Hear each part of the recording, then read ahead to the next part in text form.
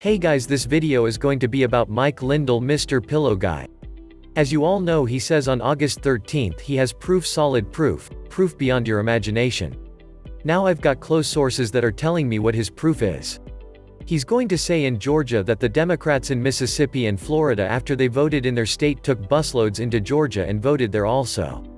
He's going to say in Texas they took busloads of Mexicans and drove them up to Pennsylvania and they voted there. In Phoenix is going to say that they have the rolls of the dead people and they suddenly became alive and voted. Now Mr. Pillow Guy will go on for about an hour explaining how all these people voted without anybody noticing.